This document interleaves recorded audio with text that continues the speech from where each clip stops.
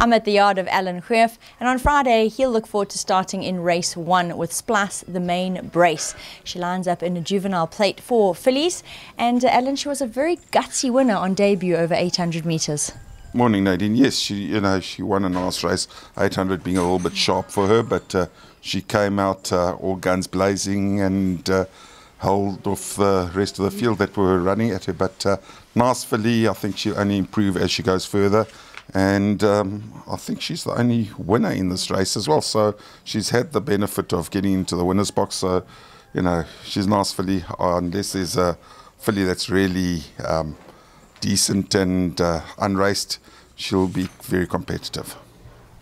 We move to race four where the yard will step out three runners. Rosa Rossa never in her last. I'm sure we can expect better. On the guest list, smart run against male opposition last time out and respectable miss will join them.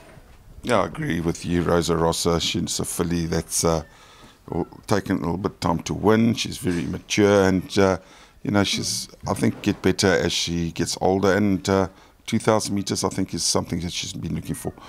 Um, on the guest list, ran a cracking race last time and I expect more improvement and respectable. She lost her form a little bit, but uh, you know she's come down in the weights. She's won four races or so.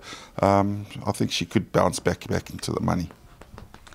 Meet at the Windsor will run in race five, and uh, he was a winner at any price last time out.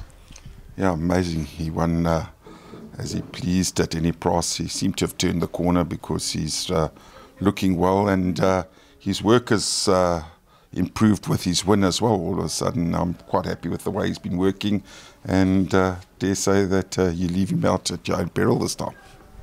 Sounds like he's turned a corner, so keep your eye on Meet at the Windsor. We move to race six, Inherit the Rain. Well, he ran a cracker in the Fairview Merchants last time out. He'll be joined by the Mauritian, who looked to have needed his local debut last time out, and I'm sure we can expect some improvement. Yeah, Inherit the Rain. He ran a cracking race last time, and Richard felt that uh, we should try the 14. He's uh, you know, had a couple of tilts at the 14, but always seems to be one found, uh, well, found wanting rather.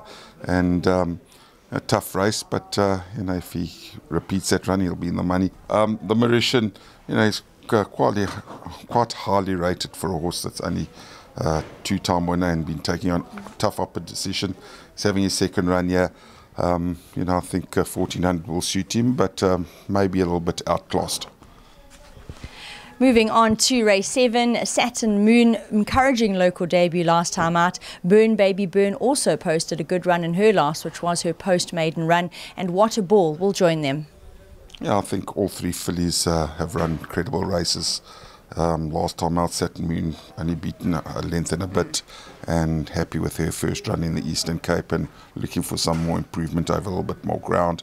Burn Baby Burn um, ran fourth working nicely and uh, looking well.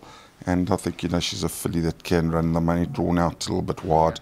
Um, what a ball sh she's running back to back from last week. Uh, ran fifth, only beaten three odd lengths, and uh, was running on a little bit there. So also showing that she wants a little bit more ground. Is, is running a week apart, so uh, you know she pulled up well, and she's just got to tick over to Friday. And closing in race 8, we'll see Holly's View, who's shown improved form of recent over sprinting trips, and Mia Regina, who is at best over the 1,000 metre trip. Yeah, Holly's View, she's definitely uh, better off by the looks of things over a sprint, and uh, know, she's drawn nicely 14, and Richard will be riding her. She'll be doing her best work late there. Uh, Maria Regina, she's uh, knocking on the door. She hasn't been far off them, and uh, she does seem to find that the 1,000 is her best.